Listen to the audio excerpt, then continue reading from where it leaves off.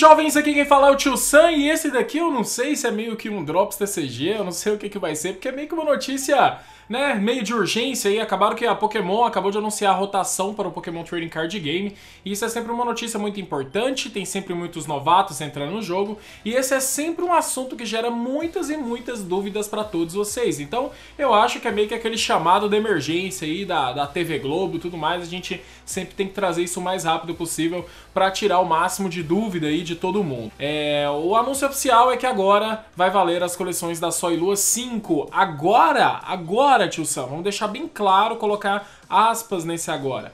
A coleção, esse novo formato, ele vai ser válido a partir do dia 15 de agosto desse ano, 2019.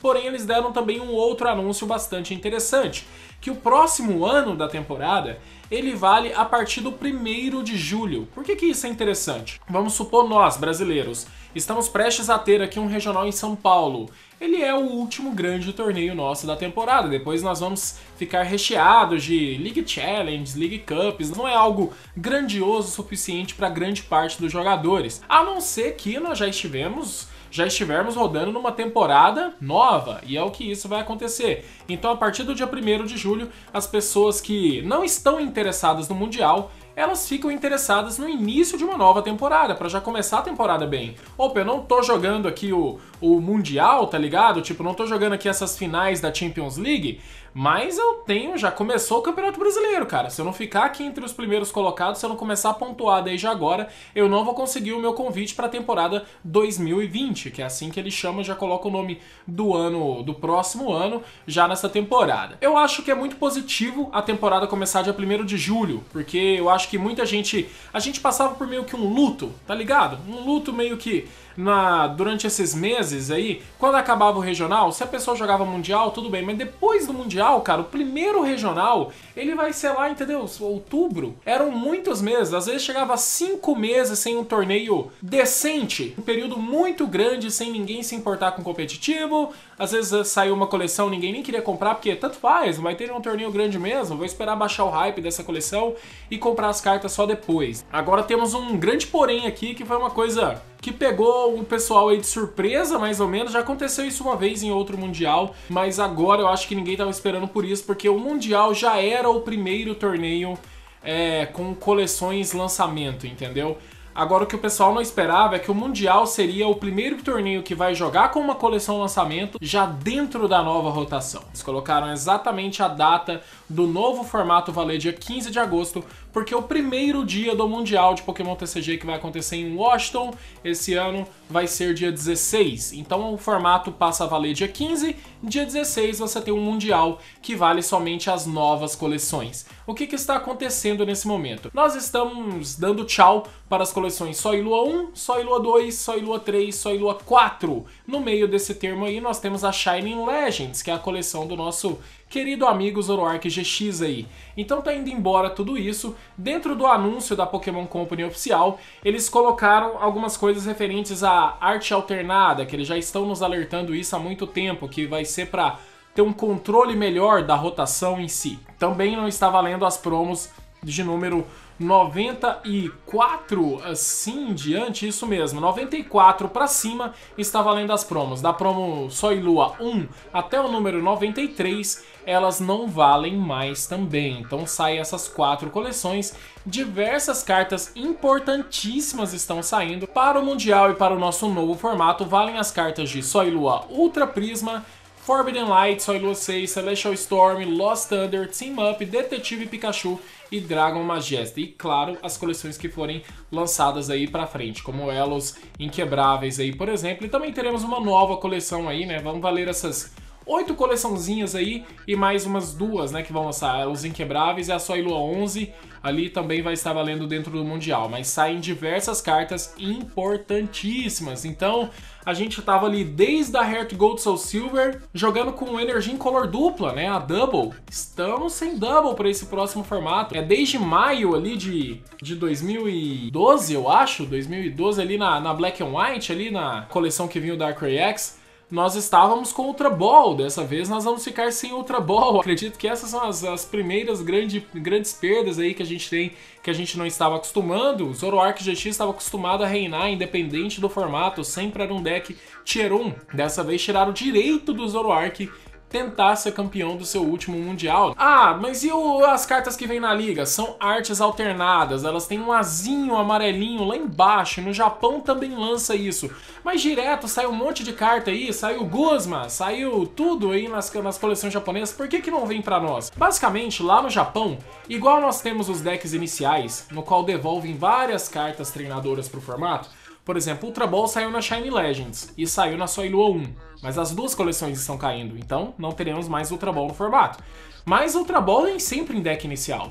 Então tá recheado aí no formato, não tá faltando Ultra Ball pra ninguém. Quem quer jogar com Ultra Ball tem Ultra Ball. Entendeu? Então é mais ou menos isso que acontece nas coleções do Japão. Elas também vêm com um símbolozinho diferente lá embaixo, no qual essa carta só será válida, enquanto a outra carta da versão do standard ali, né, do formato padrão, estiver válida também. Eles colocam um texto muito parecido que nunca tinha acontecido antes, é, aqui no finalzinho, colocando as promos do McDonald's. Eu acho que esse texto da promo do McDonald's ele serve basicamente para o EVE. Sabe aquele EVE que você coloca energia básica, busca evolução no deck?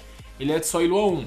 E ele também tinha sido lançado na McDonald's Collection de 2018. Então, Lá tem o Magnamite. O Magnamite é o mesmo da coleção Soilua Ultra Prisma, Soilua 5. Então você pode usar o Magnamite do, do McDonald's, porque tem o mesmo Magnamite jogando na coleção Soilua 5. Porém, na coleção do McDonald's tem um Eevee de Soilua.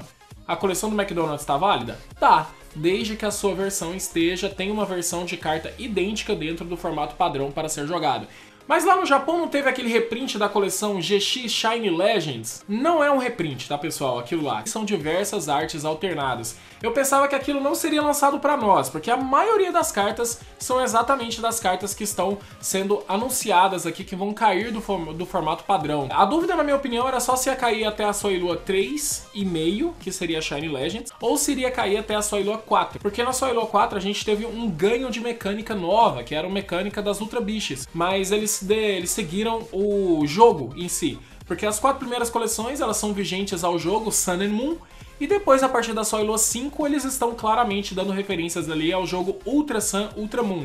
Então, a coleção do TCG não mudou de nome, mas eles seguiram ali desde a ordem onde entra as coisas realmente do jogo. É basicamente a era Prisma Star, né? Estrela Prisma, aonde começou as cartas Estrela Prisma, o que me deixa um roteiro muito óbvio para a rotação já de 2021, já vou falar agora, é muito provável que nós tenhamos um formato onde jogam os GX aliados, os GX Tag Team. Então, para 2021, se preparem, vai ser só de Só e Lua 9 para frente. Daqui um ano, quando a gente vai falando sobre esse mesmo assunto, as possíveis coleções que vão rotacionar vão ser de Soilua 9 para frente. Então essas cartas aí dessas outras Soiluas vão jogar apenas um ano. As cartas de Soilua 9 para frente, se você quiser investir, essas cartas vão jogar no mínimo dois anos. Contra a GX Shine Legends, eu acho que agora eles vão trazer isso pro ocidental, porque, velho, não faz utilidade nenhuma. Eu sabia que eles iam trazer isso quando, quando tipo, não valesse mais nada para nós, tá ligado? Aqui no Brasil a gente não tem expandido, então é muito difícil disso ter um valor comercial, disso significar algo para nós. É, não adianta pensar que vamos esperar só Ilo 10. Não, a gente já sabe as cartas só Ilo 10. Não, vamos esperar agosto, só Ilo 11, que vai ter um monte de reprint. Não vai ter reprint, cara. Eles já estão fazendo isso. Eles criaram esse sistema de carta alternada justamente para isso. Não tenha fé nesse tipo de coisa que Double vai voltar, Ultra Ball vai voltar. Eles tiveram meses e meses para fazer isso. Os caras japoneses não tem um japonês lá perdido falando: "Nossa, é mesmo, né? Ficou sem double lá, galera do ocidente, esqueceram Ultra Ball. Ixi, esquecemos de Poguzma pra eles, né? A gente não sabe o formato japonês lá, os caras jogam o formato perdido. Mas eu sinto que é aquela coisa que não é para você, novato, achar ruim. Pensa como se fosse uma prova do seu professor. Aí o professor pega e fala assim, cara, vai cair do capítulo 1 ao 18 na prova. Se o cara falar que vai cair do capítulo 12 ao 18, a matéria dessa prova não é mais fácil? Sabe, chegava no final do ano e tinha aquela prova assim, o que, que vai cair na prova? A matéria do ano todo. Você não ficou de recuperação? Quando o professor não dava aquele resumão, mano, pensa você que entrou num colégio agora, tá pegando os negócios. É muito melhor a prova que caia do capítulo 12 ao 18, que tenha somente essas coleções jogando. As cartas não ficam mais caras, Não tem problema quanto a isso e você também não vai perder um certo investimento. Você só precisa prestar atenção um pouquinho nisso daí que você não sai muito prejudicado. Não é novidade nenhuma. Na minha opinião, volto a falar, não teve surpresa nenhuma nessa rotação do que, que aconteceu. Esse novo Mundial, meu amigo, vai ser um negócio muito louco. Agora essa galera aí que vive de lista, de time, de negócio, essa galera vai conseguir jogar Mundial bem mais não. Teremos um divisor de águas aí no Mundial. Quem ganhou o Mundial desse ano para trás e quem vai ganhar o Mundial desse ano para frente. Seus próximos Mundiais continuarem assim, sendo o primeiro torneio com três semanas para você aprender um novo formato, aprender uma nova coleção e ser campeão mundial entre os melhores jogadores. E depois no Mundial, o que, que vai acontecer? Inicia uma temporada e nós sabemos o field. A gente sabe o formato. A gente sabe da onde partir. Você que é um jogador casual, você já teve todas as dicas dos pro players que vivem disso, entregando várias listas durante o mundial para você saber no que investir, para você saber no que vai jogar nos primeiros torneios que você vai jogar. Agora vamos só dar uma, eu tenho uma colinha aqui das principais cartas que nós estamos perdendo nessa rotação, né? Não existe reprint nada disso, tá, pessoal? Não vai ter, não tenham fé, foi embora. Buzzhole GX, Tapulele GX, Like Rock GX que dá a Catcher, que dá o Lisandre. Não temos mais Guzma, vou falar do Guzma ainda, mas perdemos isso daí. Gardevoir GX, Zoroark GX, Marshadow GX, o lutador com habilidade que pega do banco, bate, não vamos ter mais isso no formato. Decidueye GX, Sylveon GX, Alolan Muck, Opa, o Jirachi vai surfar doidado? Tick Brawl, Tick Brain, né? Não vai ter Alolan Muck. Vika Volt, Oranguru do Instruct com prata ter 3 na mão, Garbodor do Trash Avalanche, Tapo Coco com Kush Recuo, que bate 20 em todo mundo ali. É, Marshadow, tá chateado com Marshadow? Esse negócio do Marshadow ficar com... Não vai ter Marshadow mais, ele é da Shine Legend junto com Zoroark GX. Vulpix Xalola, Rupa com habilidade que para os Pokémon GX está saindo, porque é da Shine Legends também. Energia em color dupla, Double, acabou, meu amigo. Vamos ter que reaprender esse joguinho aí, não tem mais Double. Ultra Ball, Bola de Ninho, Bola Tempo, perdemos três bolas no formato. Vai ser difícil achar esses pokémons agora, dependendo do deck ali. Que perdemos Maca de Resgate, é um pouco arriscado agora usar somente um ali de, de linha de alguns pokémon. Faixa de escolha estamos perdendo, mas não teve um reprint dourado? Não, não teve. É na, praticamente na mesma coleção ali, tá saindo também. Ventilador, não temos mais ventilador, então estádio e, e itens, né, ferramentas ali estão ficando. Tem o Fábio, tem o Fábio, mas o, o, ventiladorzinho tá saindo. Max Potion, pô, o controle vai chorar? Vai chorar o controle. Aqui na minha colinha eu tenho um Crushing Hammer, mas é até bom falar do Crushing Hammer, porque o Crushing Hammer tá aqui, mas ele não cai, tá? Crushing Hammer tá jogando, porque ele saiu uma versão dourada nas coleções seguintes. Se não me engano, na Soilua 5 sai uma versão dourada dele. Por conta daquela versão dourada secreta rara que não é arte alternada, essa carta continua no formato. Temos o martelo avançado aqui, o que quebra energias especiais, Professor Nogueira, Acerola, Guzma, Kiawi e os dois estádios aí mais famosinhos que estão saindo na rotação, o Ladeira Brooklet e o Campo Devorado. Para falar que nós não temos nenhum reprint no formato, não era necessário, né? Mas ali, nós temos a Lily da Soilua 1 e nós tivemos a Lily de novo na Soilua 5. Ela foi reprintada. Lily está no formato. Tipo, Lily na verdade foi reprintada até mais vezes, na verdade. A Lily está no formato, Cynthia está no formato, o Hal também foi reprintado. A gente teve alguns reprints por aí. Luzamine foi reprintada, entendeu? A Samina, né? Então, a gente teve alguns reprints sim. Mas a maioria desses reprints que vocês pensam que são reprints são apenas artes alternadas. Essas cartas estão fora do formato. Para dar uma atualização aí também para quem é Tournament Organizer e tudo mais, eles também fizeram uma atualização. O, o Chris Brown, né, um dos membros aí da Pokémon Company dentro da Play Pokémon, ele lançou uma atualização nova do Tom, pediu para todo mundo já atualizar e as novidades são que agora os torneios eles podem ser sancionados com um jogador com quantidade mínima de jogadores de 4 pessoas. Isso ajuda lojas pequenas, comunidades pequenas a terem torneios que podem ser sancionados. Às vezes a comunidade é extremamente pequena, tem 4 pessoas que jogam, mas essas pessoas nunca conseguem pontuar, porque não dá uma quantidade mínima de jogadores ali na categoria, no torneio, para poder ganhar os pontos. Então agora sim, com quatro pessoas, o Tom já funciona o torneio e sanciona o torneio. E também tivemos ali que o critério de desempate agora dentro do Tom, ele já vai fazer esse cálculo que ele não fazia esse cálculo automaticamente É o último ponto de critério de desempate vai ser o confronto direto, tá? Entre jogadores. O primeiro deles era se você chegou atrasado, depois era o oponente ring, né? Ali, o ratio ali de porcentagem do desempenho dos seus oponentes no torneio, depois o desempenho dos oponentes dos seus oponentes no torneio, e por último ali vai ficar então ali a última decisão de empate, se tudo isso já tiver empatado antes, né? Primeiramente ali a pontuação, claro, de cada jogador, um confronto direto entre eles. Não teve confronto direto, é meio que na cara ou coroa dentro do tom. Os jogadores não vão tirar isso na sorte, mas é randomicamente decidido pelo tom, pelo programa oficial. Não tem o que fazer quanto a isso daí, beleza? E a maior mudança que foi feito dentro desse lance do tom é que agora quando o jogador pedir para dropar, ele vai ficar na posição do torneio onde ele terminou com a pontuação. Vamos supor que ele fez 10 pontos no torneio e dropou. Quando sair a finalização ali do torneio, todas as posições, ele vai ficar aonde ele parou, com 10 pontos. Antes isso ficava fora do torneio, pessoas que dropavam.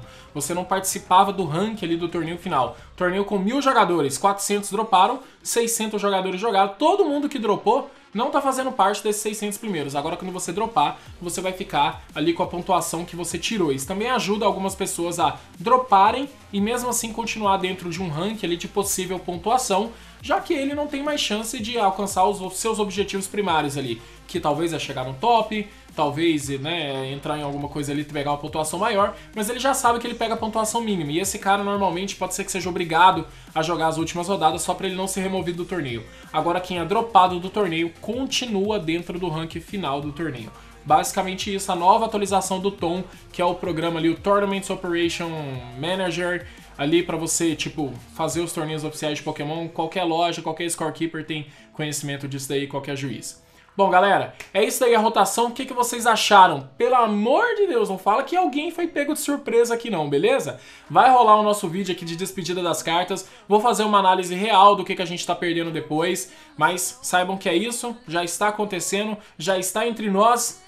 Se quiser chorar, chora, não tem problema, eu também choro algumas cartas aí. Eu acho muito triste a perda, principalmente da Double e da Ultra Ball aí nesse rolê, eu acho meio tenso. Eu acho que o Guzma em si, ficar sem uma Catcher, um Lisandre, né, o Rock GX, qualquer coisa que dá alvo no Pokémon do banco, que a gente tem desde o Base 7 o Gush of Wind, me dói menos do que perder a Double e a Ultra Ball. Acho que algumas diversas estratégias são perdidas dentro desse formato aí, mas tudo bem, acontece. Nos abracemos aí, vamos torcer aí, vamos esperando eu quero saber a opinião de vocês sobre essa rotação. Novato, se você tem alguma dúvida, essa rotação ela não te prejudica, ela acontece é justamente para que você não fique quilômetros atrasado quanto a pessoas que já jogam esse jogo há muito tempo. É plausível isso? Você consegue entender que tipo é mais fácil todo mundo estudar os últimos seis capítulos do que pedir para estudar uma coisa que você acabou de entrar e pedir matéria de dois anos atrás, entendeu? Para que você saiba, entenda e jogue, entendeu? Em cima disso em alto nível. É meio complicado, sabe? Bom, pessoal, espero que vocês tenham gostado desse vídeo. Qualquer dúvida, não esquece de deixar nos comentários. É uma perda meio dolorida, mas estamos aí, viu? Entendam o que é uma arte alternada, não teremos reprint, não esperem reprint, e é isso. Espero que todos vocês estejam passando por um bom feriado aí. Brofish dos Brothers, fiquem com Deus, aquele abraço, valeu demais. Uh!